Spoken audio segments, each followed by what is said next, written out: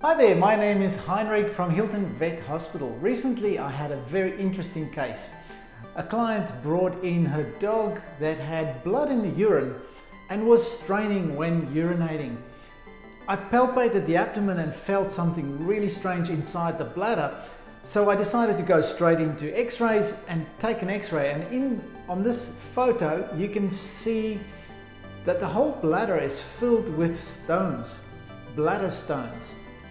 They are so big that the whole bladder is completely filled. So from there we went into surgery.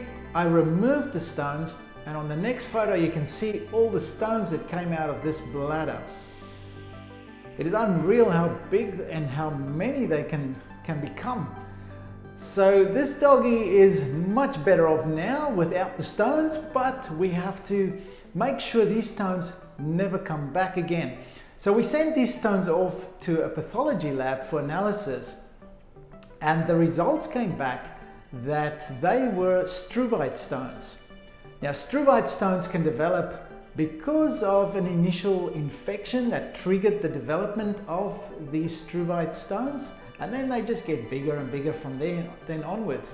So to prevent these stones from happening again, we need to put this dog on a special diet that prevents struvite stone formation.